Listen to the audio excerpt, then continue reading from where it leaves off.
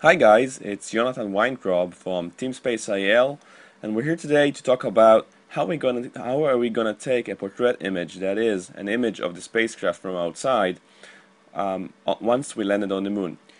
In here you can see an image, uh, an artist's view of how uh, such an image should look like and I want to talk a little bit today about how are we gonna take this image and how we're gonna shoot this image you see here for real. Okay, so this is our spacecraft here standing on the moon uh, to its convenience and we want to take a picture of it from the outside. How are we going to do that?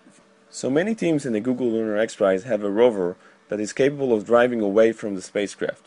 And they're counting on mounting a, a camera um, on top of the rover to take pictures of the uh, spaceship as it landed on the moon. The problem is we're using a hopper, we're not using a, a rover to travel the 500 meters on the ground, so we're not able to take pictures of the lander using a rover we need to take it some we need to think of something creative uh, to do so. So how are we going to do this? I want to present two concepts uh, of how we're going to take this image. Uh, we haven't decided yet which one we're going to implement in our spaceship but I want to take share some information with you guys. So the first concept here is just have a mechanical mechanism to deploy a camera and shoot it out from the spaceship and the camera will have some sort of uh, short range radio transmitter. And as it flies uh, to the ground it will transmit images of the spaceship as it moves away. So this this concept is pretty nice. Uh, the problem here relays in the in the part that we're going to deploy the, the one that flies out. It has many problems. For example you need to have a mechanical deployment mechanism to throw it outside uh, in addition, um, since it's, it's deployed, you cannot have a direct power plug into that. You need to take a battery.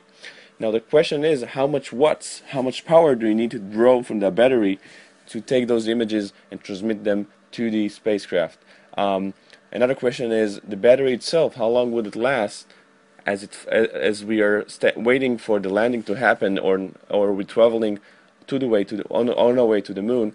So we need to think about how much power we need here and how much uh, how much we can store and and this is a little bit of a problem. The second problem is we need at least two uh, of these mechanisms because we are we need to take a portrait image right after the landing as well as after the hopping to make the 5 meters requirement.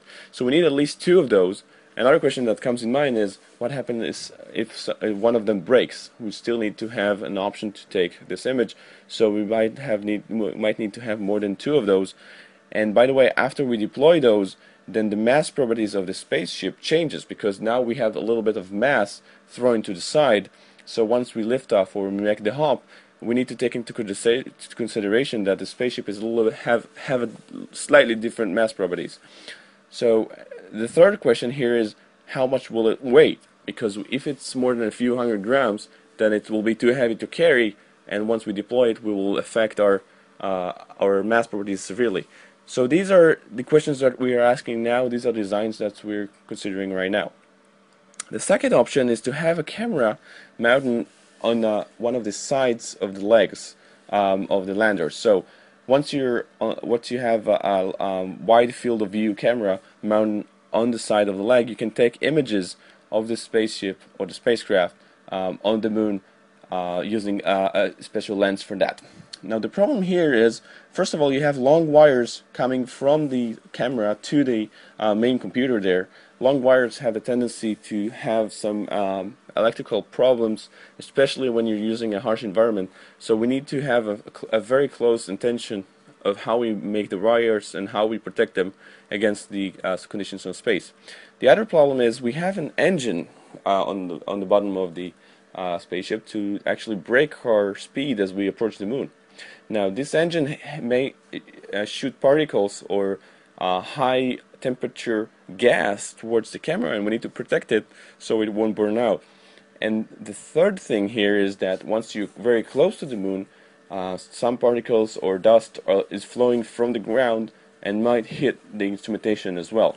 So these are the main problems that we're uh, encountering. One other very important problem is, as you can see here in the simulation, um, the legs absorb a huge amount of force as we are uh, touching the ground.